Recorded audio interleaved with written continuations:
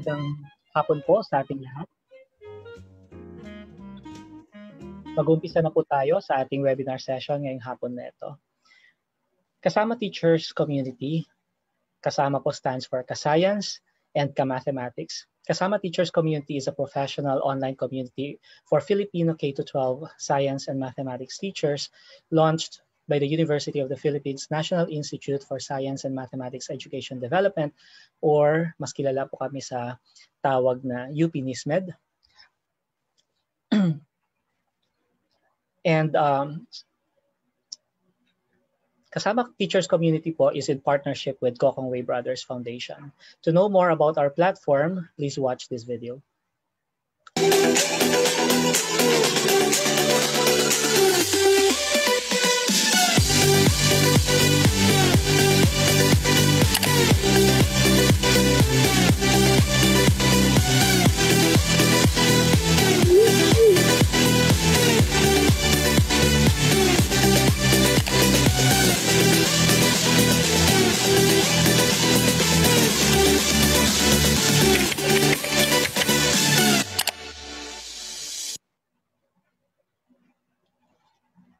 Okay, so yan po ang video natin for Kasama Teachers Community. Aside from webinars, we also continuously develop content and learning resources such as lesson plans, activities and exercises, as well as assessment and test items, among other things, uh, which could be of help to you as you prepare for the open for for uh, your classes.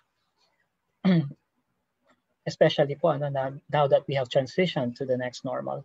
Uh, now, how do we register? Just visit www.kasamateachers.ph, which is now flashed on your screen and type in the caption and sign up for free. Connect with your co-teachers, connect with Kasama Teachers community.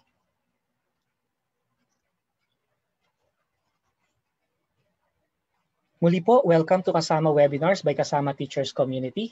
Ako pong muli si Michael Anthony Mantala. Uh, hopefully po makasama rin natin mamaya si Ma'am Celia Balbin. Ano? Um, ako po ay isang Science Education Specialist ng UPNISMED at ang inyo po magiging tagapagpadaloy sa webinar session natin ngayong hapon. This session is made possible by the UP National Institute for Science and Mathematics Education Development o UPNISMED in partnership with Kokongwei Brothers Foundation. UPNISMED is a research and extension unit of the University of the Philippines, Diliman, whose mandate is to help improve science and mathematics education in the country. GBF is a family foundation whose core thrust is advancing STEM education, believing that this is the driving force toward sustainable national development. In 2011, UP NISMED established Kasama Teachers to help teachers during the transition to the K-12 basic education curriculum. In 2019, UP NISMED and GBF partnered to bring an improved one-stop hub for communication, collaboration, learning, and development for Filipino K-12 science and mathematics educators. Through its website, kasamateachers.ph, Kasama provides free, quality teaching resources, a platform for sharing best practices and professional development opportunities to K-12 science and mathematics teachers. Now, more than ever, Kasama Teachers community will continue to bring you relevant and helpful opportunities for professional development and develop learning resources to help you carry out your classes. Kasama nyo kami, Kasama Teachers. As we begin today's webinar session, just a few reminders. Uh, wag po tayong mahihiyang magtanong. If you have questions, just comment with your school and division. We will be collecting your questions and have our panel answer these questions before the session ends. Feel free to tag your friends, message them, and invite them to join uh, this webinar anytime. Today's session on teaching mathematics through text and tech would not be possible if it were not for the time and expertise of our resource speakers. Our first resource speaker is a science education specialist uh, from the elementary mathematics group of UP NISMED. Her specialty areas are curriculum studies, mathematics education and problem solving based instruction, Uh, she also has taught mathematics and education courses across grade levels and has served as a school principal in local and international schools. She is a graduate of UP Diliman and Chiba University in Japan. She finished a data science immersion program from, from, from um, the group For the Women, and her advocacy is employing data science skills and analytics in education research. Let us welcome, ladies and gentlemen, Miss Maria Teresa Capule Navarro. Okay, our second resource speaker is also a science education specialist from the high school mathematics group of UP NISMED. He specializes in the integration of computers in teaching mathematics. He graduated uh, MA Mathematics from UP Diliman and attended a 1.5 year teaching training program in Tsukuba University um, Japan, in Japan, under the Mon Mombuka Gakusho Scholarship. He is also the leader or the lead trainer of the GU Chibra Institute of Manila. Let us welcome po uh, Mr. Guillermo P. Bautista Jr. Hi, JR. Oh, good afternoon po sa inyo. Okay, so um, umpisahan na po natin ang bahaginan po natin ngayong hapon na ito. Ang una pong magbabahagi ng kanyang expertise ng kanyang kaalaman po ay si uh, Miss Esa Kapulen Navarro. Miss Esa, magandang hapon sa iyo. Magandang hapon, Sir Mike. Um, salamat po at ako'y masaya at kapiling ko ulit ang mga ating mga kasama teachers at sa ating kasama community.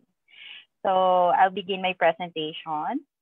So mathematics teachers once used handwritten overhead drew on blackboards and even or even smartboards and scribbled in notebooks.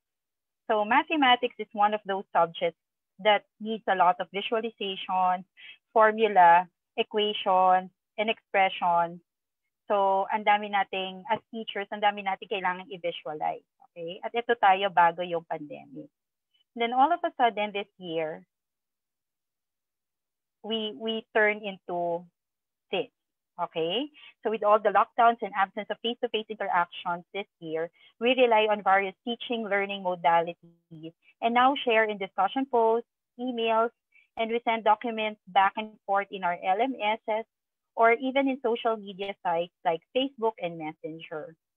So in this new digital forum, how do we show messy live examples of doing mathematics? So how can we make our lessons interactive and enticing to our students? So without sacrificing the accuracy of our content. Then how do we also maximize our social media platforms in sharing information in our mathematics classes?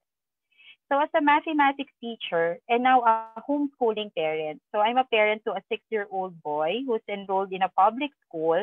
So madalas naka-modular po kami, remote modular. So based on my experience as a teacher and a parent, I have encountered a number of mathematics problems that I hope were presented in a more accurate way. So let me give you an example. So looking at this one, I usually see this in tests. So we use pi when we teach circle. So are we using the right symbol if we put it in this way, that pi is equal to 3.14? What is pi really equal to? Do we use equal sign or should we use the double tilde? So misuse of mathematical symbols and notation may lead to misconceptions. So as mathematics educators, we have to be careful with this. So what we teach in elementary will prepare our students to high school and later to college. So it's not easy for all students to unlearn mistakes and redo learning. So using the right symbol and notation is important in teaching mathematics content. So as early as elementary, we have to be conscious on the proper use of mathematical symbols and notation. So here's another example. Sometimes these mistakes are because of our limitations as teachers. Okay, so for example, in this notation, this is encoded in Word or PowerPoint. Yung iba sa atin, nag yung insert symbol, so by using insert symbol, which is limited in terms of presenting accurate mathematics expression, ganito yung nagiging labas ng square root of 25. So that is why um, it would be nice and it will be beneficial for us teachers if we know how to um, use equation editors to present better written expression or equation. So note that mathematical symbols are a concise way of giving lengthy instructions related to numbers or, and logic. So mathematical symbols are a communication tool. So symbols are used to eliminate the need to write long and plain language instructions to describe calculations and other processes. So mga kasama, tingnan natin tong dalawang expression na ito. So which is written properly, A or B? So I'll give you 10 seconds to type in your answer in the comment box sa Facebook. And yan, ano kaya ang mas magandang way to present it? A or B? So para sa akin po, mas maganda yatang i-present siya kung gagayahin po natin si letter B. So now more than ever, we rely a lot on teaching and learning materials in text and digital format. So one of our goals in this session is to be able to create aesthetically pleasing mathematical expressions and equations. So good afternoon. I am Maria Teresa G. Capule Navarro, or Teacher ESA. Welcome to the text part of this webinar, which is Teaching Mathematics Using LaTeX. Okay, so in this session, we will try to know a little bit of LaTeX and how to code fractions, exponents, and radicals. We will also try to explore how LaTeX codes can be used other than creating beautiful mathematical expressions or equations for our print and digital materials. So since a lot of us are familiar with MS Word or Microsoft Word, I will show some trick on how to extract LaTeX codes from Word documents. So wag po kayong matakot na puro coding tayo. May mga tips and tricks po akong i-share sa inyo mamaya. So with the increasing use of digital technology and online learning in schools, knowing a little bit of LaTeX can help math teachers communicate effectively with both students and colleagues.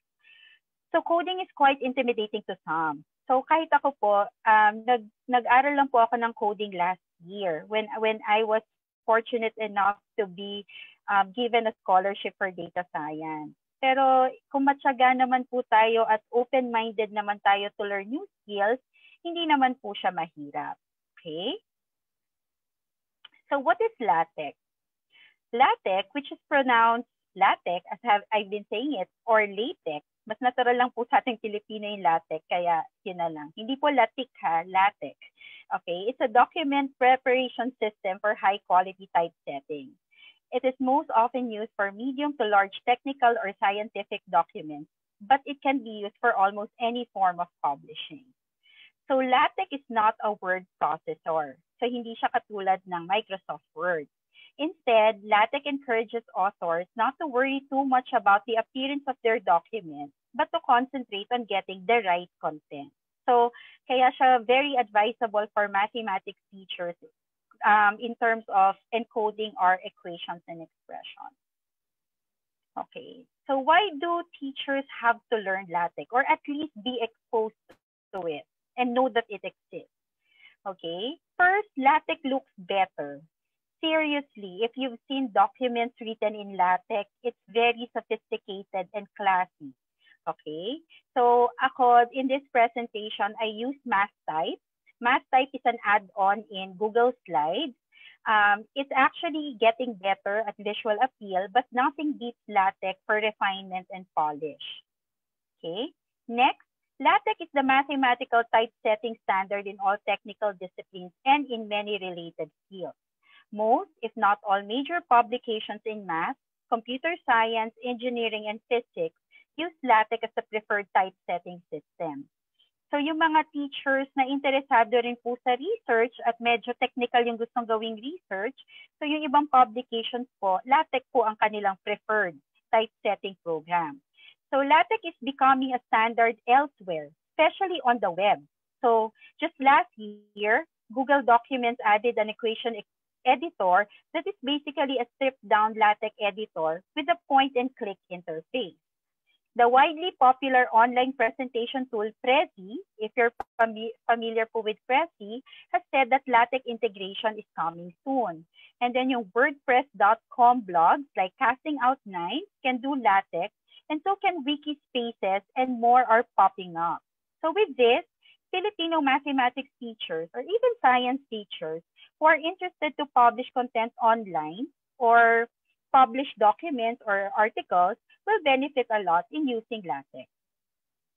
So, ako, personally, gusto ko siya kasi libre siya. So, LaTeX is free. We like free sites and apps, di ba? So, you can download it right now for you, for for just about any operating system uh, imaginable. So whether you're using um, Microsoft or Mac or Linux, you can you can download um, LaTeX for free. And then, so and this is a system that has been around for 40 years. Kung ika-count po natin yung text na kung saan doon nagsimula ang LaTeX and has millions of users. So many of whom actively contribute to further to the further development of the system by writing specialized packages and macros. But we will not focus on this today and use familiar platforms first. So hayaan niyo hindi tayo magiging sobrang technical kahit ako mismo po, I'm just a user, hindi rin ako sobrang technical na tao. So but if you want to further discuss these things, I am very much willing to um, exchange emails with you. I'll, I'll share my email later on, or you can send me a message through Messenger. And last point, LaTeX is what you make it. You can use LaTeX with a point-and-click IDE or integrated development environment, katulad ng makikita natin sa Microsoft Word mamaya at sa, sa Google. Or you can type everything out by hand with a text editor and compile from the command line or anything in between. It's actually up to you as the user. So other proprietary programs force a menu-driven point-and-click approach upon you. So which you may like but may not like. So yung mga ibang gumagamit po ng LaTeX, gusto nila dire-diretso silang nagko-code. Meron naman iba, katulad ko, gumagamit pa rin po ako ng point-and-click approach. Okay? So ito po yung halimbawa ng mga mathematical problem sets na kinode po sa LaTeX. Kung titingnan niyo po, I've, I've encountered before um, colleagues or co-teachers na yung mga gantong klaseng problem, yung iisa-isahin nila sa Microsoft Word na i-connect yung lines. Tapos minsan, hindi accurate yung angle or minsan hindi nag-limit yung dalawang lines. So, para maiwasan po natin ito, yung mga ganong klaseng scenario. So, makikita nyo naman how how the problem set was written beautifully using LaTeX. So yung mga equations din po, ayan po. So mas na-avoid po natin yung mga errors na pwede naman talaga natin ma-avoid. Okay? So I actually have a link here. Um, I'll be sharing my presentation later on. You can access it and see what other things LaTeX could do. So yung mga text din po dito actually, sa LaTeX din po siya kinode. So yung pag-number sa kanya, pag-format sa kanya, lahat po yan sa LaTeX na po ginawa. Okay? So katulad po na nabanggit ko kanina, if if you're a LaTeX user, you're you're concentrating more on your content rather than the layout kasi LaTeX could help you with that. Pero how come we do not learn LaTeX? So I have shown you why it is good to learn LaTeX, but it is also good to know some downsides, okay, of LaTeX. So first, LaTeX has a learning curve. So hindi ko sinasabi na madali siya. It's actually, um, you can you can think of it as a learning a new language. When I when I learned a programming language Python, para ako nag-aral ng bagong lengguwahe. Okay? So, kailangan mo talaga siyang aralin, kailangan mo siyang intindihin, yung mga syntax niya, yung logic niya, kailangan mo talaga rin siyang i-practice para parang tayo pag nagtuturo, we practice and we practice para mas matutunan ng bata yung yung mga tinuturo natin. So, kung makikita nyo, as your um, document gets complicated, mas okay gamitin talaga yung LaTeX. Okay? So, next, um, another issue is that if you make sufficiently important mistake in your code, LaTeX will give you error message messages instead of an output file. So hindi mag magra-write yung ginawa nyo, hindi lalabas yung product nyo kapag may error kayo sa sa sa inyong code. But with practice and forum sites in Google, ako po ay suki na mga na mga forum sites like Stack Overflow. Pag may mga codes akong nag error I always post there. May mga mababait po tayong co-programmers na na na-encounter na rin yung mistake na yon or pwede kayo maghanap sa mga thread ng mga possible mistakes nyo. Tapos makikita nyo na rin mostly yung sagot doon sa sa mga thread na ito sa internet. So you will be able to address mistakes in your code. So debugging time decreases pretty rapidly with experience. So when you say debugging, ito yung pagko-correct po natin ng mga codes natin. And lastly, LaTeX is counterintuitive. So like any other programming languages, it is a language we use to communicate with computers. So hindi naman ito yung language na ginagamit natin everyday sa conversations natin. So um, it is not totally obvious either, but with a little guidance, LaTeX can make perfect sense even to our students. Okay. So kahit sa high school tayo mag-introduce or i-expose sila, wala pong problema. So if you're a math or science teacher, make it a project to learn LaTeX yourself and start using it in your classes. Then teach it to your students. It is important that teachers are open to this new skill so that we will not deprive our students of additional learning opportunities. Okay? So paano natin magagamit yung LaTeX sa classes natin? First, I would suggest that you use an IDE, yung sinabi ko sa kan kanina na Integrated Development Environment, or a user-friendly text editor rather than a plain no-frill text editor or Emacs. Okay? So instead na mag yung para mga terminal sa computer natin, we can use text editors. So for Windows machine, so mga gumagamit ng Windows, we can use Technic uh, Technic Center IDE that gives point and click code insertion. Sa mga gumagamit naman po ng Mac, pwede po tayong gumamit ng TextMate if we have money to pay for it or Aquamax. Ito po yung mga symbols nila. Aquamax if we don't if we want free.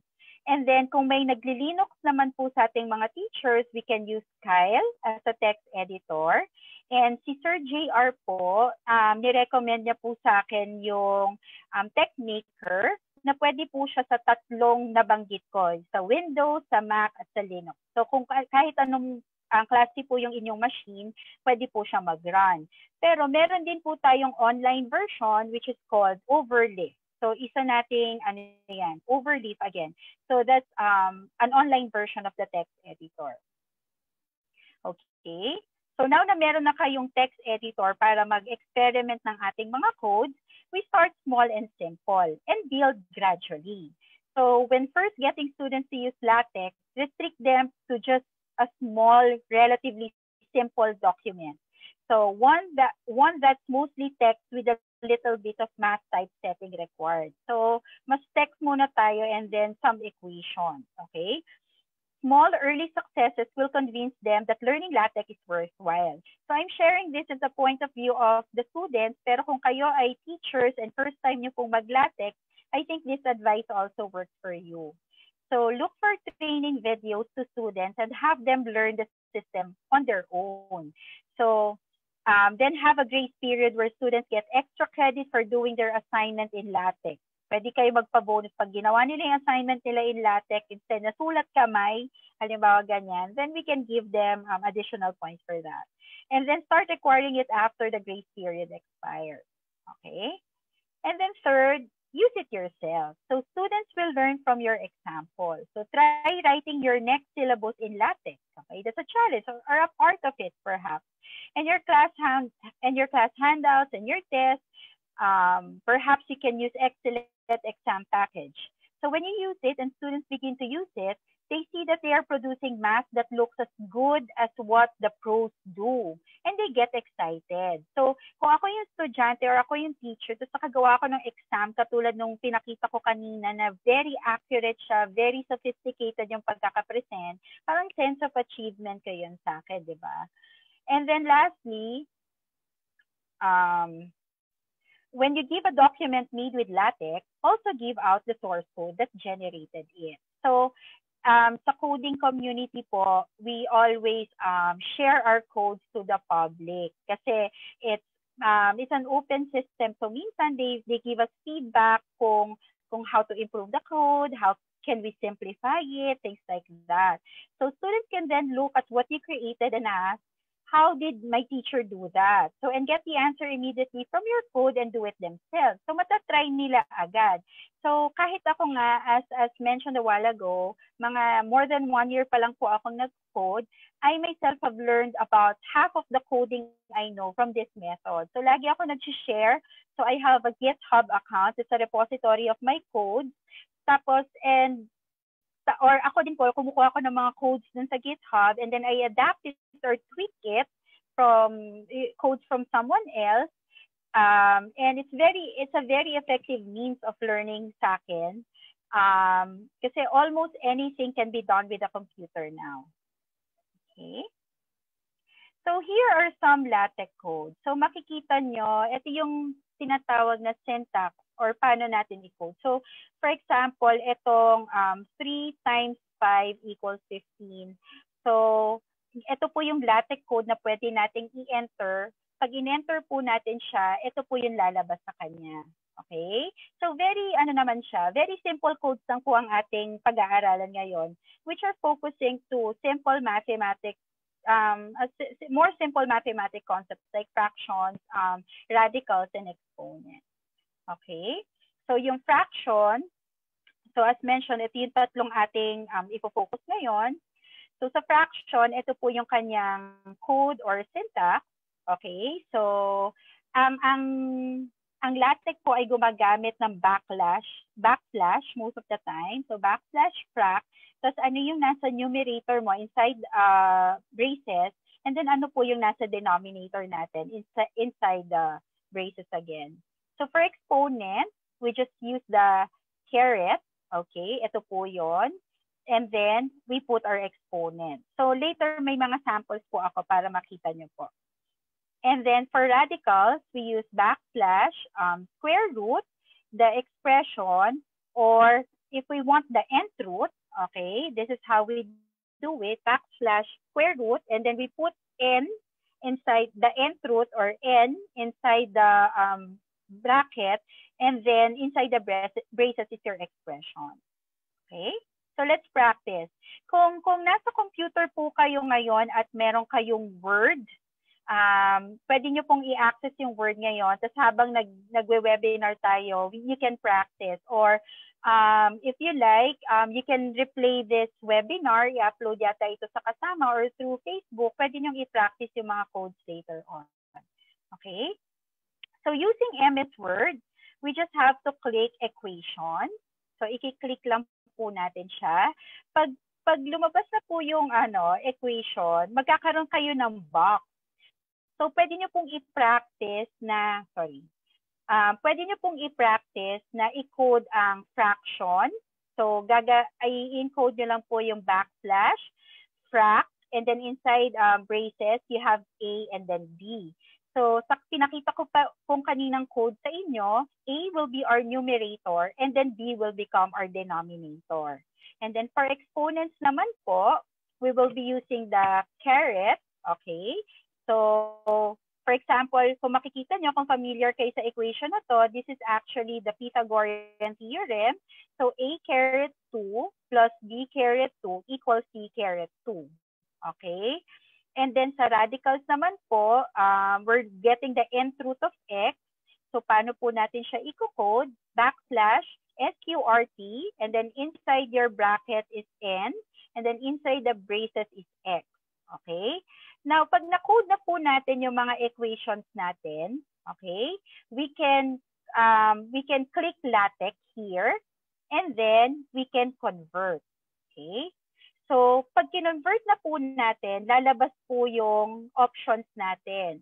So, kung gusto lang po natin i-convert itong last na, itong naka-highlight po, pwede po natin ipindutin yung current professional or current linear. Current professional po will give you this kind, this ano na po, interface. Papakita niyo na po yung mga equations. When you key in current linear, it will show you the code. Ito po yung mga papakita ng linear. Okay? So, bakit ko ito pinapakita sa inyo? So, maganda na alam natin yung mga codes, pero kahit ako din po na nagko-code, hindi ko naman po kabisado lahat. So, ang Microsoft kasi, meron naman po siyang um, graphic use, um, user interface. So, pwede tayong mag encode ng fraction, ganyan. Tapos, kung gusto ko lang kunin yung codes niya, pwede ko siyang i-convert using this um, using this um, command. Okay? I can just click on convert. Makukuha ko na po yung mga codes niya for LaTeX. Okay? So, sana ma-practice nyo po later. Kasi, um, magandang matutunan po ito. Papakita ko sa inyo kung saan natin siya pwedeng gamitin. Okay? So, ito pa po yung mga sample ko na codes na pre-prepare. So, halimbawa, 3 fifths, and then you're adding fractions. Yan, um, what do you call this? Um, Pythagorean theorem, square root of 4, nth root of 8. So, ito po yung kanyang professional look. Ito naman po yung linear, linear look niya or yung LaTeX look po natin. Ito yung LaTeX codes po natin. Okay? So once we know the codes, where can we use it? So here are some ideas. There are actually interactive mathematics content sites like bookwidgets.com. Hindi po siya free pero may trial po siya. Pero makakagawa po tayo ng flashcards, makakagawa po tayo ng quizzes, makakagawa din po tayo ng mga games. Etong games na ito yung para mga memory games natin. So, just by knowing the LaTeX codes, so mga equations na gusto nating um, gamitin, pwede po natin siya ipasok sa mga websites na ito. Now, remember, pag pag ano po kasi hindi po natin alam yung codes, lagi tayong nag anong tawag dito, um, kina-capture natin or screenshot tapos picture natin. Pero pag naka-codes po, mas flexible tayo. So, um, I know na mas madaling gamitin for most of us yung um, point and click. Pero if you know a little bit of LaTeX and if you know how to extract these codes from Microsoft Word, pwede nating gawin yung document natin into more interactive mathematics content like this three. Okay? Flashcards, online quizzes, and games. Okay? Another use of LaTeX is sa Google. As I mentioned a while ago. So I'll, I'll, I'll play a very short video. So, trinay ko siya sa Google Doc. Okay? So instead of clicking the point and click, kinocode ko siya. Tapos biglang lalabas na yung, lalabas na agad yung, um, ano ba yan, fraction. Backslash frac lang, lalabas na yung fraction bar. And then I can key in already the numbers that I want to be my numerator and denominator. The same with square root. And then the same also with exponent. So if you know yung mga little commands na to, instead of searching it one by one in this, in the ribbon, um, mas mabilis nyo siyang makukode. Okay? So, okay. So another one na, na ako personally ay na-fascinate, pwede po natin siyang gamitin sa Messenger or Facebook post natin. So um, kung ginagamit nyo po, utilize nyo po ang messenger as a means of communication to your colleagues and to your teacher, um, to your students, you can actually use LaTeX, okay? Pero hindi po siya automatic ha. Um, um, at saka may difference lang po sa code. So kanina po, pinakita ko sa inyo na backslash yung ginagamit natin sa code. For, for Messenger or for Facebook, we may use the dollar sign we, we have to use the dollar sign um, in the beginning and at the end of the code. Ito po siya, makikita niyo po dito sa sample dito. Yan, nag-use siya ng dollar sign. Tapos, nung trinay ko po siya sa aking, um, sa aking laptop, so actually, this one, the last two um, pictures are actually my conversation with my husband kasi tinatry ko siya sa messenger.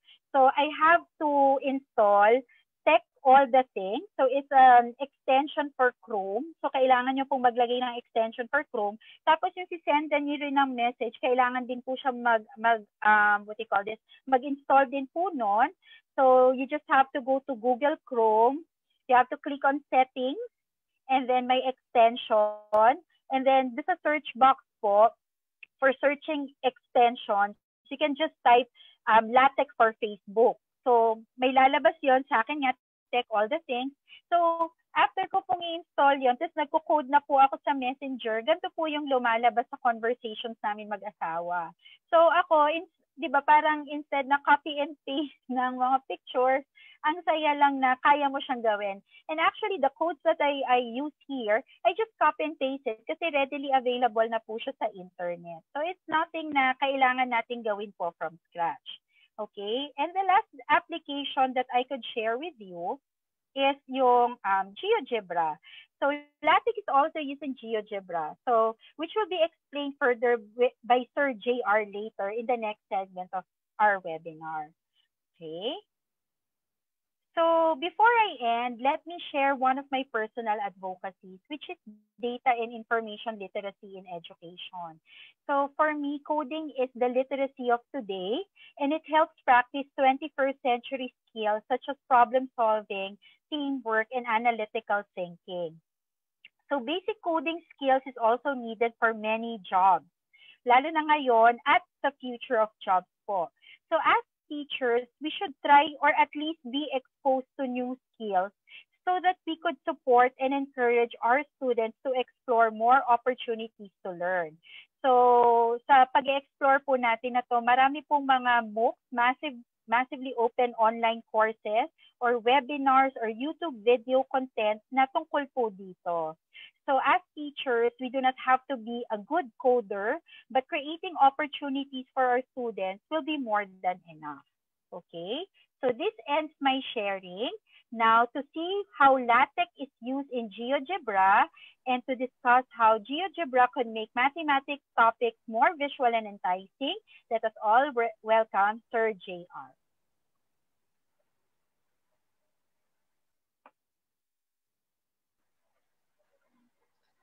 Maraming salamat, Esa. Um, Miss Esa, maraming salamat sa napakayaman ano, na pagtalakay mo ng gamit ano, ng latex sa, math, uh, sa, sa mathematics instruction. Um, makasama, um, gaya po ng nabanggit ni uh, Miss Esa, may learning curve po ito. Ano? Um, mm, bago yes, po tayo pumapo sa GeoGebra na pagtalakay ni uh, Sir JR, um, isang tanong lang, uh, Miss Esa. Um, ano yung pinaka naging challenge mo uh, learning uh, this uh, this program? Ako ako talaga sir coding as a whole, hindi lang po LaTeX, pati rin po yung um, Python na mas komportable akong gamitin at yung R din po na sinisimulan kong aralin. Ano siya, um, yun nga, yung nabanggit ko kanina, counterintuitive siya. These are not us- the usual conversations na ginagamit natin. Um, coding is like learning a new language. It's actually the language we use to communicate with our machines or with computers. So, sa akin as a non-technical person, mahirap po talaga siya, sir. Hindi ko sasabihin madali. Okay? Mahirap talaga siya. So, as a whole, dahil wala po akong background talaga, um, I just learned coding from Code Academy. As in, nag-enroll lang ako ng um, ng mga courses online. Um, yun, mahirap talaga siya, sir. Pero I think it part me, it sparked some interest within me kasi iniisip ko no, yung yung mga problemang kinakaharap ng mga estudyante at kakaharapin nila in the future will mostly involve tech problems. Okay? So if I do not equip myself with these skills or at least um try to be exposed with LaTeX or Python or R, ano po sir eh, I think I'm depriving my students of opportunity. So, it doesn't mean na kailangan kung ako ay sobrang galing. Hindi po sir, nagka-copy and paste din po ako ng codes and I'm proud to say that. Hindi naman po siya masama. Pero yung, yung willingness lang to learn siguro sir. So, um, kung if I will cite specific difficulties, the entire process is really difficult okay but but i think you can overcome it with the right support system you know i i joined um chat groups or um, groups na nakapag-exchange kami ng mga codes namin or mga katulad ko rin na non-technical na nagko-code ngayon. So, yun sir. Very nice. Uh, at least uh, nalaman ano, ng mga kasama natin, Miss Esa, no, na you're a non-tech person who learned uh, yeah, I am these, not stuff. Definitely not. Okay. oh, pero yeah. I, a non-tech person like you was able to um, learn the tightrope ano, of programming. Uh, definitely, uh, every non-tech person siguro, for as long as there's interest in them, and would also be able to uh, do just as much. Yes, yes. okay, thank you. Yes, Once again, thank you so much, uh, Miss Esa. No um, the good thing about um, this webinar, mga Ah, kasama, uh, pwede nyo itong balikan ano, sa ating recording. Ano? So, uh, bumisita lang po muli kayo sa ating Facebook um, page at uh, pwede nyo pong balikan doon ang recording po ng ating webinar ngayong hapon. So, dumako na po tayo no, sa pagpapatuloy po ng ating webinar ngayong hapon. Um, magandang hapon muli, uh, Sir JR. Sir JR. Uh, magandang hapon po sa lahat.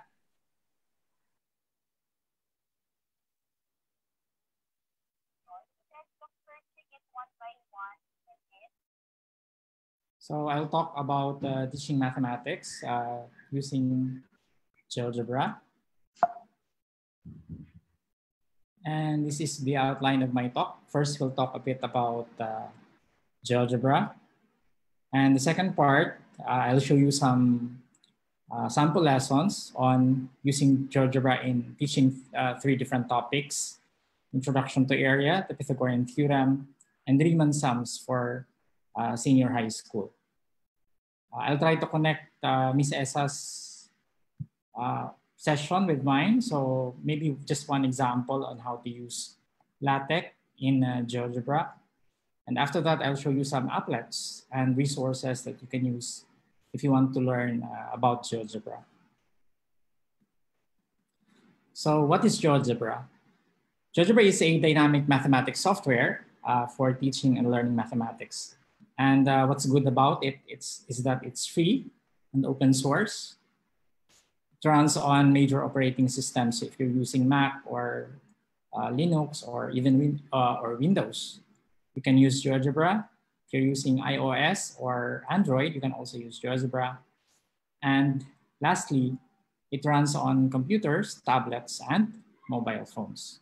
So wala kayong takas, no? Meron talaga sa meron siya sa lahat ng ng uh, platforms and hardware. So the second part is I'll show you some sample lessons on uh, using GeoGebra. So the first one is a task on area. So this is a sample task that can be given to grade schools pupils, I think four or five. Your family wants to make a garden and you were asked to select its size. Move sliders A and B to choose the size of the garden. So if you already have the applet, this is the uh, this is a sample of a GeoGebra applet. So with the problem, the pupils can move the sliders and change the size of the garden. So one unit is one meter. And here are some guide questions. What are the length and width of your garden? So of course, the pupils will uh, construct different, different uh, sizes and uh, the answers will vary. How many squares of side one side length one meter covers the rectangle completely? So this is for grounding the concept of area. For the third question, how did you get the number of squares of sides of side length one meter that completely covers your garden? So the purpose of uh, these questions is to let the students see that they can actually count the number of squares, not just by one, uh, not just counting one by one, but also counting by groups. And this is just a review of what they have learned when they, when they uh, learned multiplication. They can answer six groups of four or four groups of case, uh, four groups of six in case that they, they have a four by six uh, rectangle. And the next question is, how do we represent four groups of six? How about six groups of four? So again, this is connecting the representation, the visual representation to the abstract representation uh, that's from, from uh, grouping to multiplication. And lastly, uh, what can you observe about the relationship among 4, 6, and 24? So the students or the pupils would uh, hopefully be able to see that uh, 24 is a product of 6 and 4. the teacher can then go to the applet and ask the students, or I'm sorry, keep on saying students, but ask the pupils if their observation is still true. They can also collect the students' answers and write them on the board. This is to further reinforce the idea that the number of squares is uh, equal to the product of the length and the width of the rectangle. So as you can observe, we haven't mentioned yet the word area. It's an, we are introducing the concept without mentioning the word area. And for the sixth question, how do the number of squares of side length one meter relate to its length and width? So this is already the abstraction and once the students answer this question, the, the teacher can now uh, introduce the concept of area, which is the number of square units that can cover a specific region.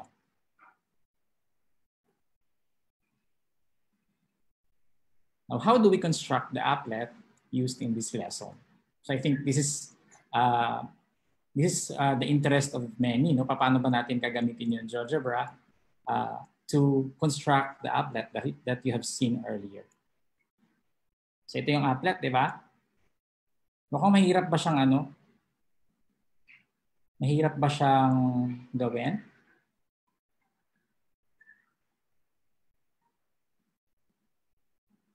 Well, um, I'll show you how to do it and you'll see later that it's not very hard. We'll be needing sliders. Ito yung slider natin, yung A and B.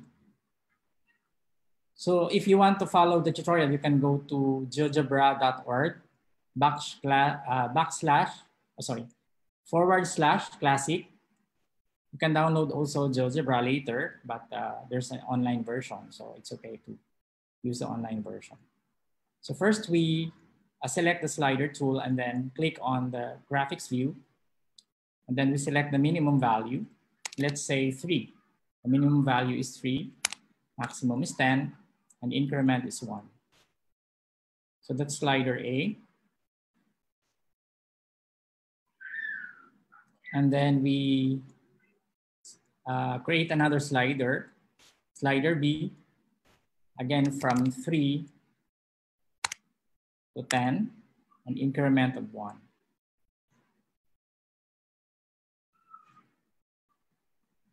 And then we uh, plot our first vertex, zero, zero. So this is the first vertex of the rectangle.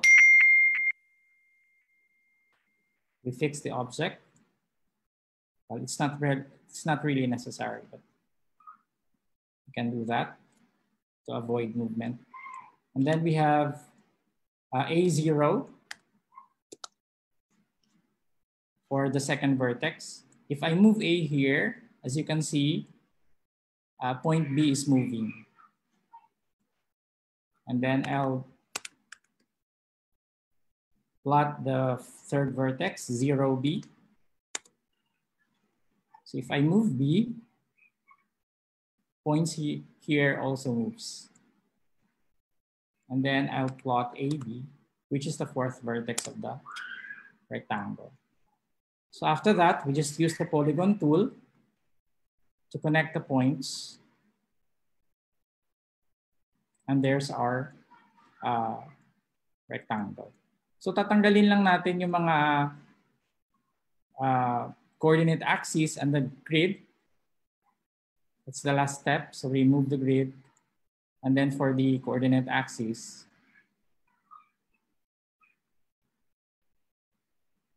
we just uh, choose major grid lines. Okay. And then we uh, hide the labels.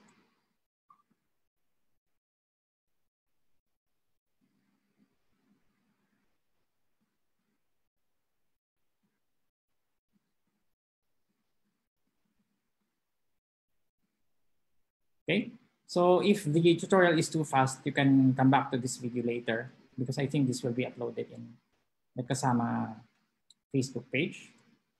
So there's our rectangle.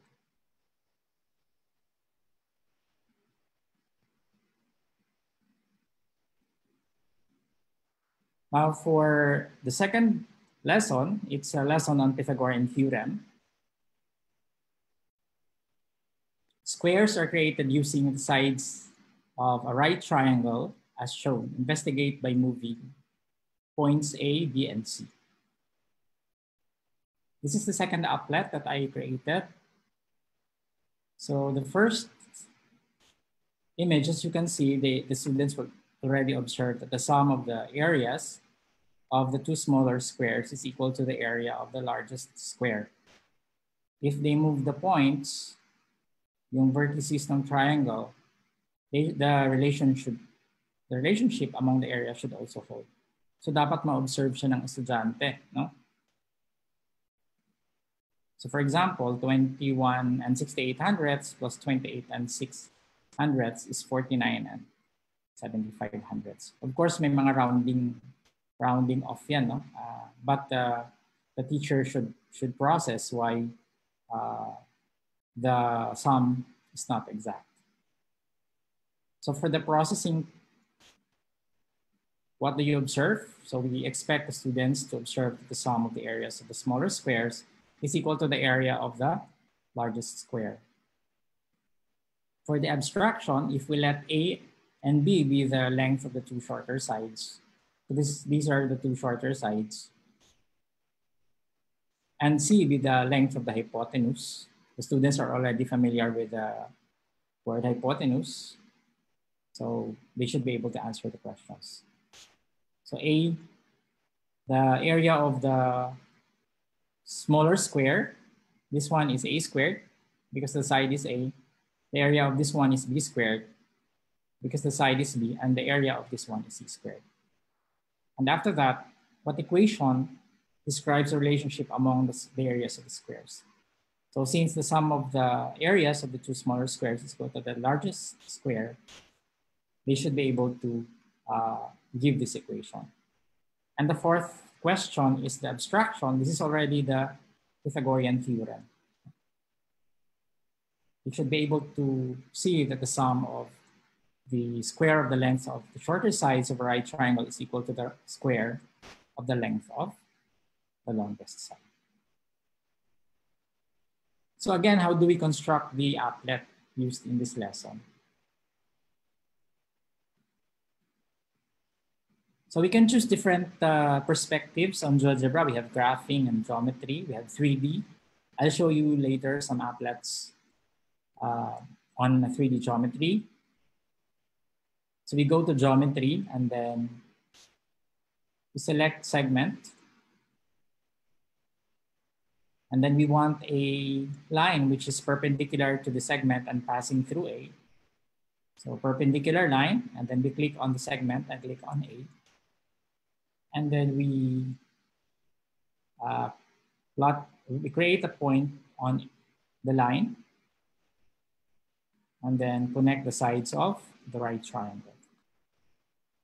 So we don't need this line, so we hide it. Right click and then show object. And then we connect A and C.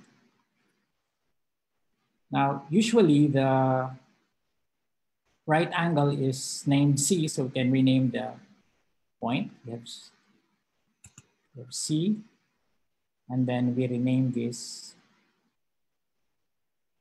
A.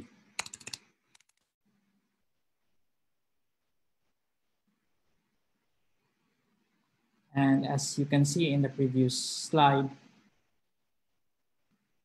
we need to construct squares using the sides of the triangle. So to do this, we use the regular polygon tool and select the endpoints of the sides. Regular polygon, we need the square, so the vertex, number of vertices is four.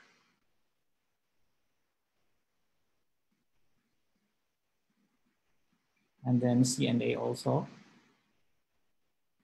and then B and C. And then we just display the area. So when you display the area or whatever properties, for example, for points, you display the coordinates For line segments, you display the length. So here we display the area by right-clicking on the object, clicking on settings, and then you go to the basic tab and then show label, you check on the show label and you choose value. So we do this also on, do this to the other squares. And there's your applet. So hindi naman siya ganun ka ano, no? Hindi naman siya mahirap. Only a few steps lang siya. Okay, so for the third lesson, for senior high school, area under the curve. So yung mga nagtuturo ng integral calculus. So this is the task. One of the famous mathematicians, or mathematics problems in ancient times is on finding the area under a curve. To solve this, some mathematicians used rectangles for approximating such areas. What is the approximate area between the graph of the function f of x equals x squared and the x-axis from x equals 1 to x equals 2. So in this problem, the assumption is that the students already know how to use GeoGebra. So dapat marunong na sila, no?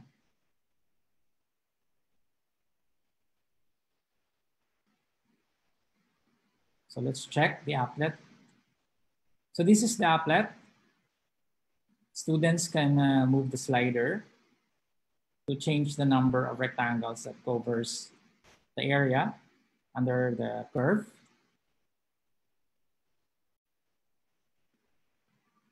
And then here are the questions for this discussion.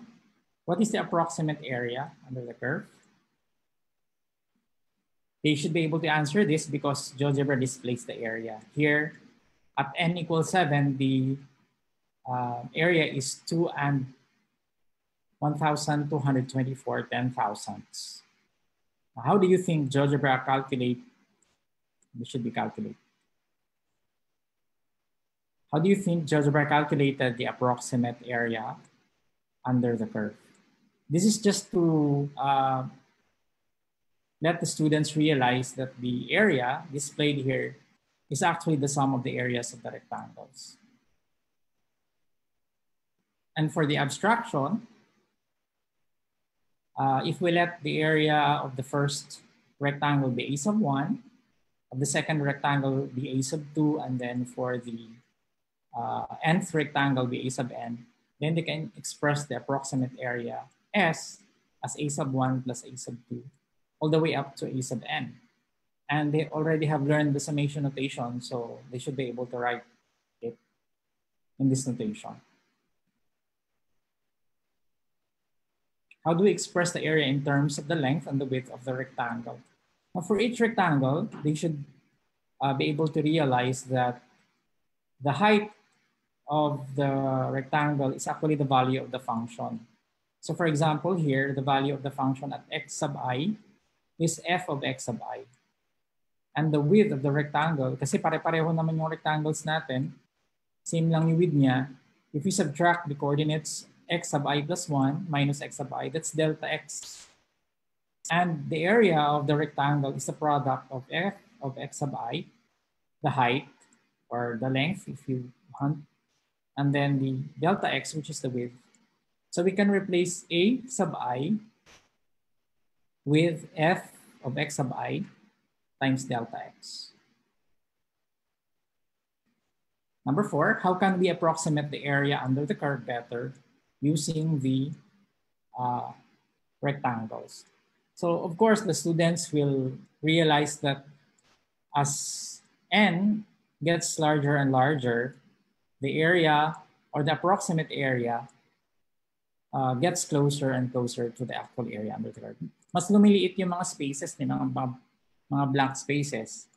So, dapat ma-realize ng mga estudyante that the, the area the sum of the areas of the rectangles gets closer and closer to the area of the, the area under the curve. No?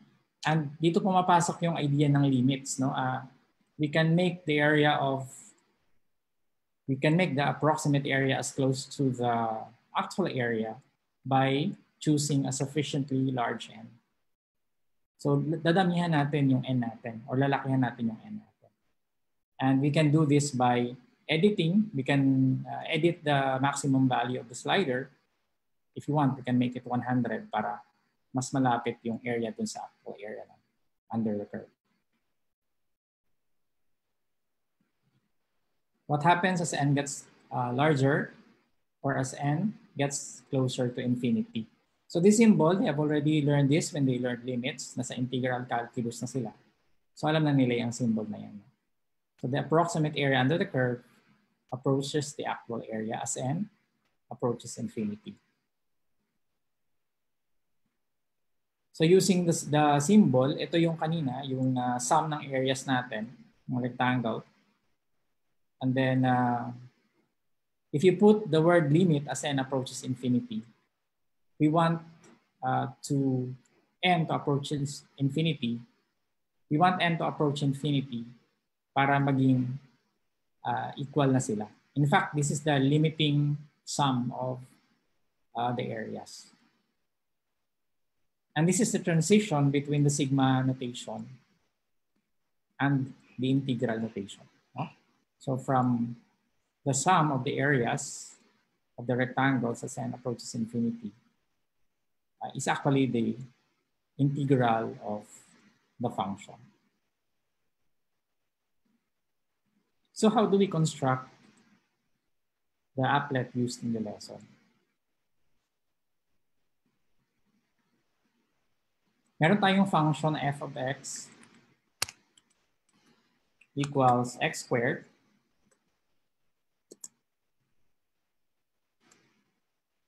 Akala nyo, akala nyo mahirap ito pero napakadali lang. So we have a function. That's one step. We type the equation of the function. And then we use the slider from 1 to, for example, gusto nyo 100 and the increment is 1. And we change the name of the slider to n. So if we move the slider, And then we want the area from one to two. So the command is just lower sum, the name of the function, f.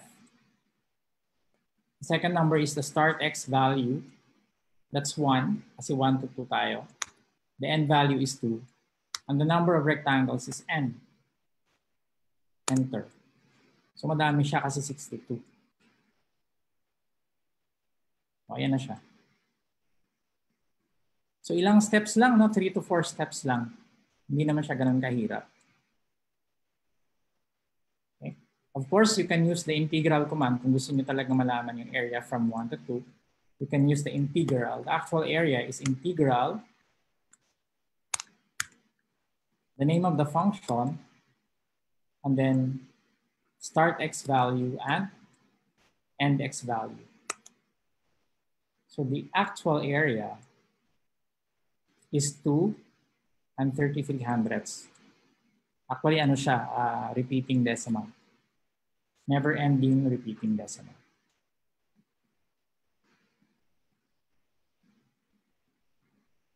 So, pwede natin gamitin yung latex sa GeoGebra. How do we do that? Ito na lang, no? For example, we want to type the quadratic formula you can just go to text and then click on the graphics view. And then you just uh, click on the LaTeX tab. And then you type the LaTeX code for uh, quadratic formula. So that's backslash frac. Di ba naalala nyo kanina kay Miss Esa? Uh, the first, uh, what's inside the first brace is the numerator. So b squared caret b and then caret squared minus 4ac over 2a.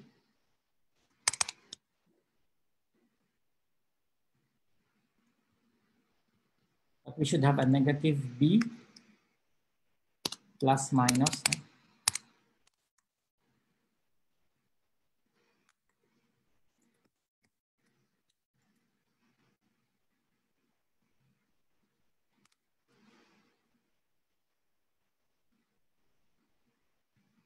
Okay, so ito na yung ating LaTeX na LaTeX for the quadratic formula. Oh, may square root pa dapat. So square root this should be square root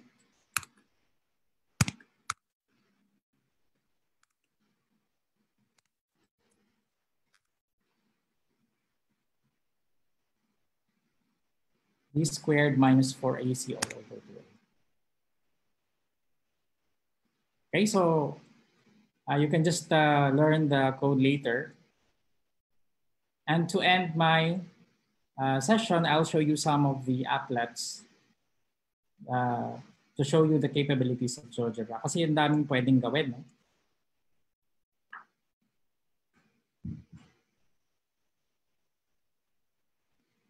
So this, this is an example. Uh, this is squaring a binomial, the geometric uh, representation. So we have a squared for this one, AB, 2AB, and B squared. So as you can see, the side here is A plus B, and the side length here is also A plus B. So if we compute for the area, a plus b times a plus b, we have a squared plus 2ab plus b squared. And this is represented geometrically. So yan yung mga pwede nyo gawin sa GeoGebra. No? Here's another one, yung Pythagorean theorem. The area of the white square here, or, or the square with the white interior, is c squared. And if I move this, the area of this small square is A because this is A. This is A squared. And the area of this is B because this is, uh, the area of this is B squared because this is B. So what can you say about the three areas?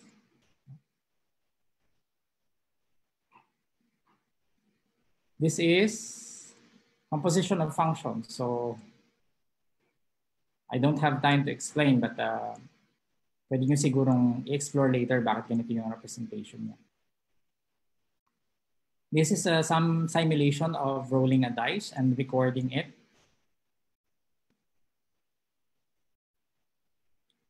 So random numbers ito, no?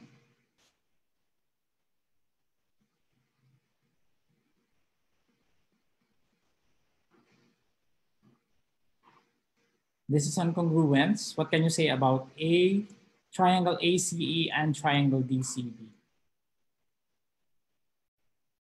They are congruent. What if I move C? Still, they are congruent. I move this here. Still congruent. So what's, what's the task? The task is to prove that triangle ACE is congruent to triangle BCB. And this is very easy. No? This is SAS. Ayaw mag-load ng iba, no? So let's try to refresh. So this is for science, yung rotation ng mga planets. The rotation is, the ratio is correct, pero yung mga distances hindi yan correct. Kasi impossible siya na uh, to maintain the ratio. So yung Earth, yan, the ratio of the rotation is correct. And this, this is very, this is a very good activity if they know how to use GeoGebra kasi nagko-compute sila ng ano, ng, this is ratio and proportion. No? And these are some of the applets for fun. This is uh, Strand Beast.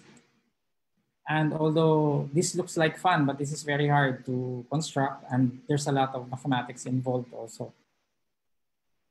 So those are some of the, the things that you can do with GeoGebra. Of course, there are so many things that you can do with it, uh, even in higher mathematics. Ayaw lang mag-load ng iba, no?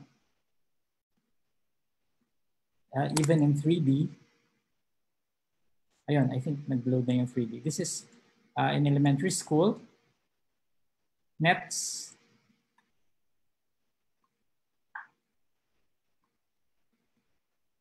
It's still loading, sorry.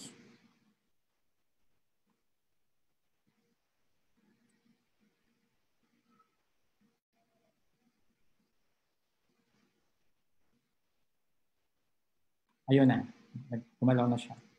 So this is uh, net nets of a net of a cube. So inaaral natin yan sa elementary exam. And for some resources, you can go to uh, the GeoGebra Institute of Manila. Uh, I, I have uploaded several short videos here. So this one is on uh, making a square from a rectangular piece of paper.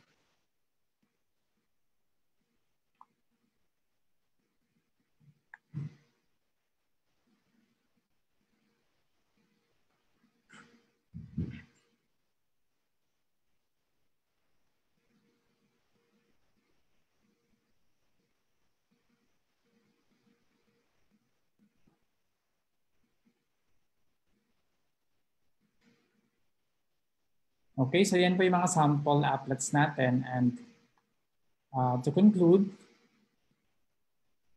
uh, GeoGebra is a great tool for teaching mathematics. However, careful planning is necessary to maximize its potential in developing critical thinking.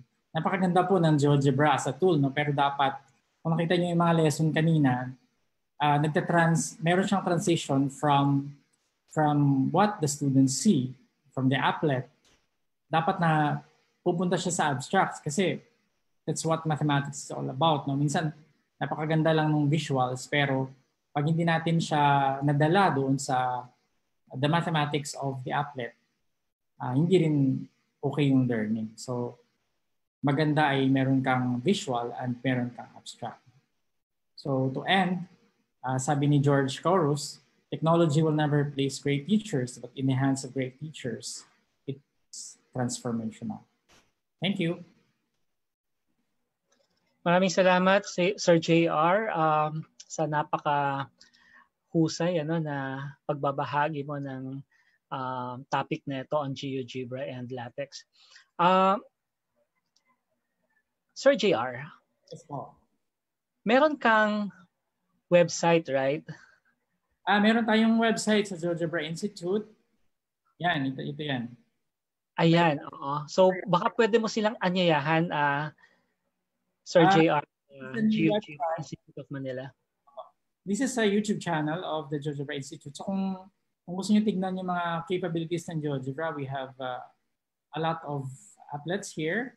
Kaka, ano lang nito, kakagawa lang, no? And then we also have a website at uh, geogebraph.org, GeoGebra Philippines, no? Uh, There are usable applets here.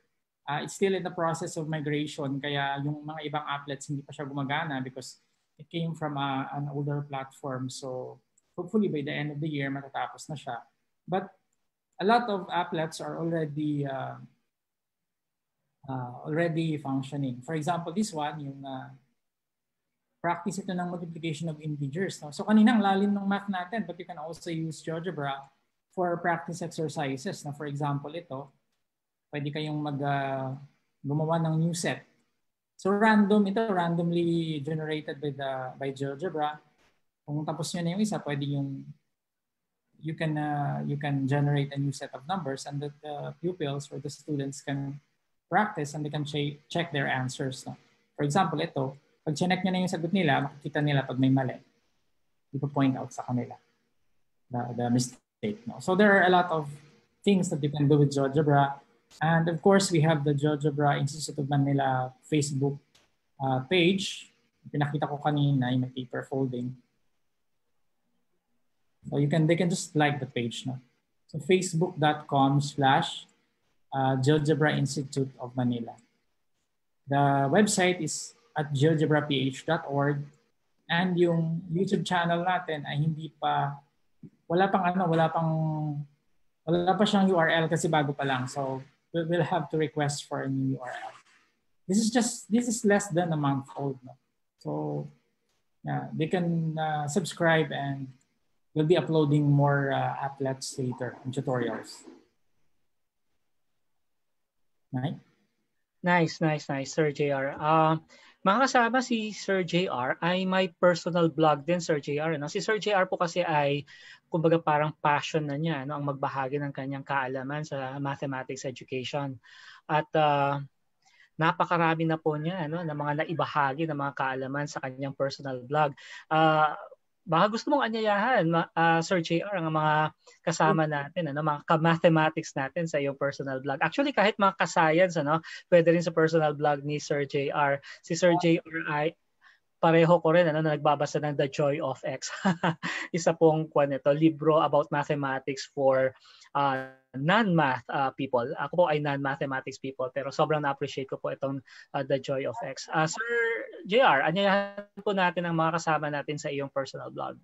Ako, uh, Mike sa ano sa mathandmultimedia.com pero hindi ko hindi to official no uh, so hindi walang nag-edit minsan may mga errors but um, of course I'm personal blog personal. right multimedia.com. May mga GeoGebra tutorials dyan pero matagal na siyang hindi na-update. So, ang last update pa, isa-isa na lang yan dahil wala ng time. No? But they can check out the GeoGebra tutorials there. Okay. So, um, ayan. So, yun po ang uh, GeoGebra Institute of Manila po at saka ang personal blog ni Sir uh, JR. Uh, Sir JR, kanina natanong ko si Miss Esa no, kung ano yung pinaka mahalaga or pinaka importanteng uh, challenge ano, na na-encounter niya learning this uh, these uh, programs. I understand Sir JR non-programmer ka rin ano kumbaga parang by profession hindi ka naman talaga programmer kundi uh, isa kang math uh, educator right? Uh, Mike ano din may background ako sa programming. So Ah, that's good. Oo. Hindi siya Pero itong background sa programming, uh, how how did you uh, how how did you get it? Ah, ano, ano ka nito ng background? Undergrad ko ay computer science, yung masters ko yung math. So may background talaga ako sa program. That explains it, oo. Pero kung halimbawa, tulad ni Esa, tulad ko, tulad halimbawa ng marami sa mga kasama natin na nanonood ngayon ano or pinapanood ngayon itong webinar natin. Um kung halimbawa ano um wala kang programming background, uh, ano yung pinaka-importanteng challenge na pwede mong uh, makaharap, makaengkwentro sa well, paggawa nito? Yung kahit ako naman, kahit may programming background, pero mahirap, it's very difficult to memorize the codes. No? So, codes. Mahirap siyang i-memorize, no? And uh, of course, um, minsan nakakalimutan mo siya, no?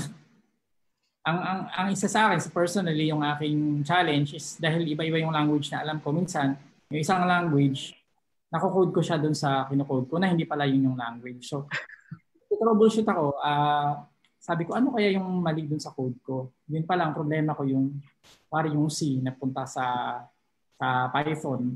Yun yung challenge sa akin. Minsan, napagpapalit ko yung codes. Kasi parang may for loop sa C, for example. May for loop sa Python. Uh, so, yun, yun, yun.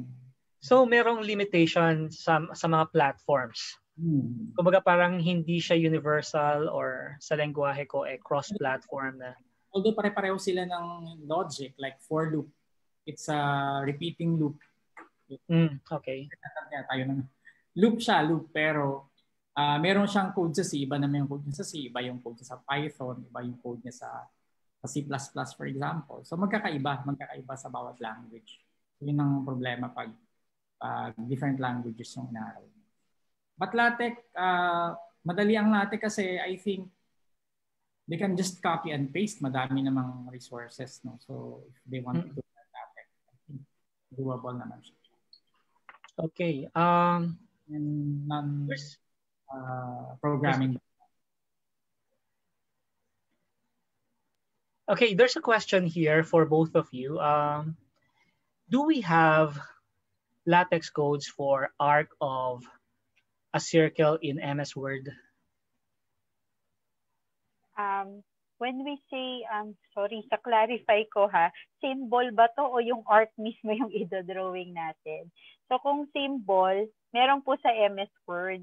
Pero kung yung drawing mismo, I would suggest to utilize yung mga text editors na po ng LaTeX.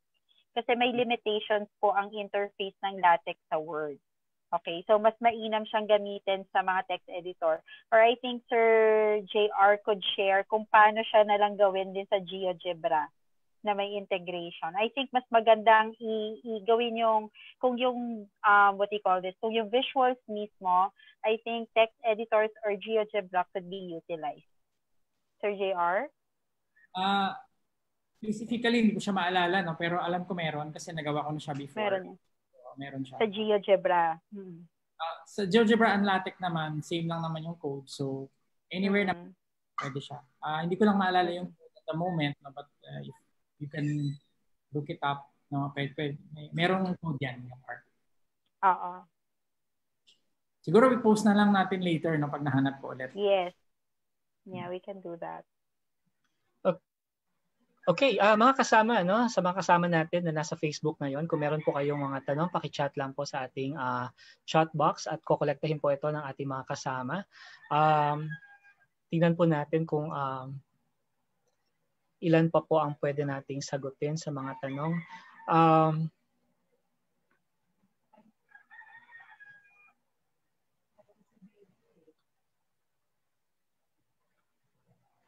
okay, Uh, Sir JR, ano, um, kung halimbawa, um, kung halimbawa, Sir JR, ah, okay, there's a question here. What activity are you planning to develop using what you have learned in today's? Ah, okay, ito yung sa wrap-up question na natin. Pero before that, ano, before our wrap-up question, uh, Sir JR, um, tanong ko lang, um, halimbawa sa science, ano, um, paano, maliban dun sa mga circles na gano'n, ano, uh, sa pag uh, gawa mo ano ng mga relative ang ganda nun, ano, parang ano yon uh, ah, according to scale yon yung mga relative distances ng mga planets to the sun and uh, mga relative distances nila from each other or uh, or, or random ito? Yung distances ay hindi siya relative kasi impossible siya with the scale, no? Pero Oo. yung rotation nila ay That's... accurate. The rotations are accurate. Kasi mas may mga planet na mas mabilis, syempre mas malapit sa sun, di ba? Tapos yung... Elliptical ba ito? Sorry, hindi ko masyadong maalala kanina. Elliptical or circular? Elliptical siya. Well, well in reality, hindi naman talaga siya circle, no? Pero uh, yung, yun nga, yung mathematical modeling is just uh, the model of the real world. So, mahirap naman talaga na... Mahirap. Uh, mahirap siya. Hindi siya kaya ng GeoGebra, kumbaga. Ang, ang tanong ko, Sir JR, uh, Miss Esa, um, anong ano sa anong bagay pa no sa anong uh, lesson pa halimbawa ng science pwedeng gamitin ang mga bagay na ito I think limitless siya kasi mathematics is one of the languages of science, di ba? It's a language. So, um, di ba? It's a language itself. So, hindi kasi ako talaga science major, but I could just imagine yung applications niya sa physics and sa ah, chemistry. Yeah, uh-huh. right, right, right. So ako kasi ay, dahil mas mamasa kong tao, yun yung dalawang science na na-appreciate ko talaga kasi marami siyang mathematics involved. So, with physics and math, LaTeX is very much used in physics um, papers. So, definitely sa physics, marami po siyang application. Tama. Sir JR, uh, uh, how would you, uh, paano, yung, paano mo i-advise ito? Ano ang gamit nito sa mga non-math uh, people na kasama natin ngayong hapon nito sa webinar nito? Well, lahat naman kasi, lahat naman ng, Sir Mike, lahat ng may 3D ang GeoGebra, no? So yung mga modeling, no? pwede nilang, actually sa arts, ginagamit siya, no?